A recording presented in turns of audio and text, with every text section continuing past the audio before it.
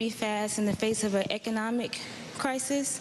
I want to know what you would do within the first two years to make sure that Congress moves fast as far as environmental issues like climate change and green jobs. Well, thank you. Um, look, we are in tough economic times. We all know that.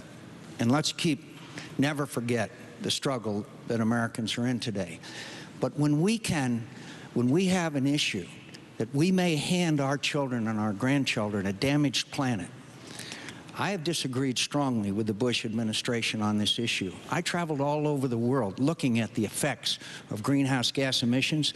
Joe Lieberman and I, and I introduced the first legislation, and we forced votes on it. That's the good news, my friends. Bad news is we lost. But we kept the debate going, and we kept this issue. To, to, posing to Americans the danger that climate change poses. Now, how, what's, what's the best way of fixing it? Nuclear power. Senator Obama says that it has to be safe or disposable or something like that. Look, I've, I was on Navy ships that had nuclear power plants. Nuclear power is safe and it's clean, and it creates hundreds of thousands of jobs. And, and I know that we can reprocess the spent nuclear fuel. The Japanese, the British, uh, and, and the French do it.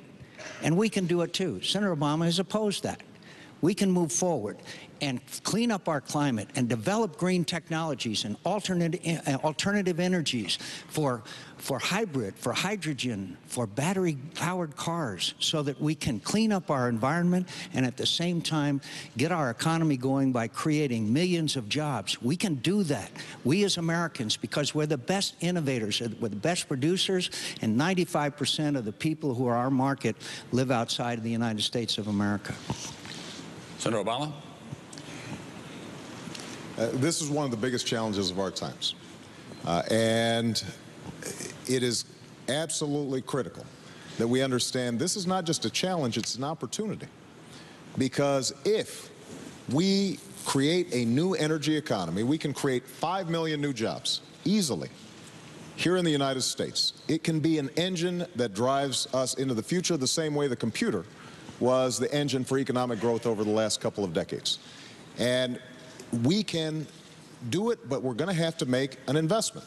The same way the computer was originally invented by a bunch of government scientists who are trying to figure out for defense purposes how to communicate.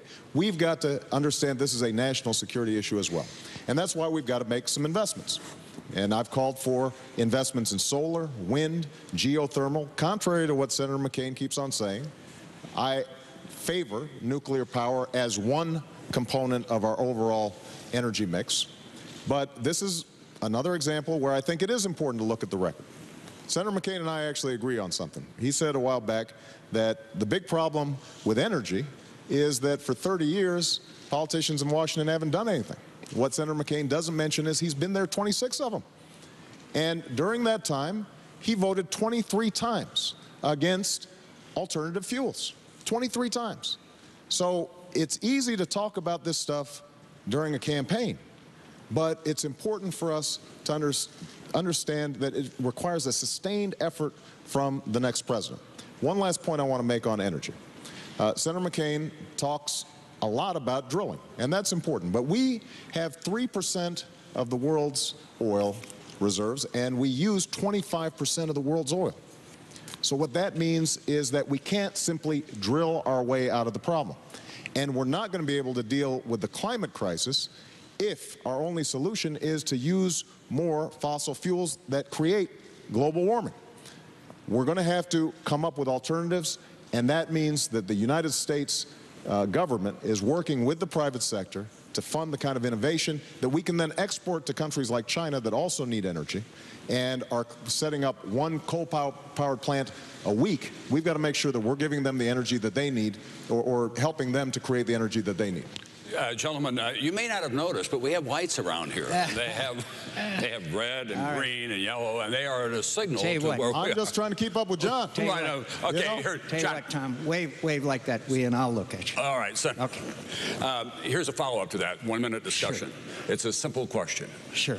Should we fund a Manhattan-like project that develops a nuclear bomb to deal with global energy and alternative energy? Or should we fund 100,000 garages across America, the kind of industry and innovation that developed Silicon Valley?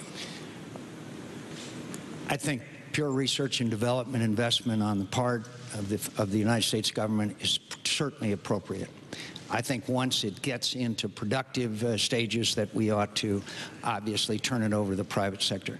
By the way, my friends, I, I know you grow a little weary of this back and forth. There was an energy bill on the floor of the Senate loaded down with goodies, billions for the oil companies, and it was sponsored by Bush and Cheney. You know who voted for it? Might never know. That one. You know who voted against it? Me.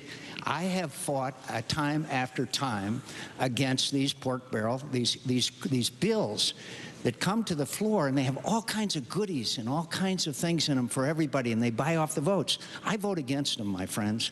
I vote, them, I vote against them. But the point is also on oil drilling, oil drilling offshore now is vital so that we can bridge the gap. We can bridge the gap between imported oil which is, which is a national security issue as well as any other. And it will reduce the price of a barrel of oil because when people know there's a greater supply, then the cost of that will go down. That's fundamental economics. We've got to drill offshore, my friends, and we've got to do it now. And we can do it. And as far as nuclear power is concerned, again, again, look at the record. Senator Obama has approved storage and, re and reprocessing of spent nuclear fuel. And I'll stop, Tommy, and you didn't even wait. Thanks. Thank you very much, Senator. Next question.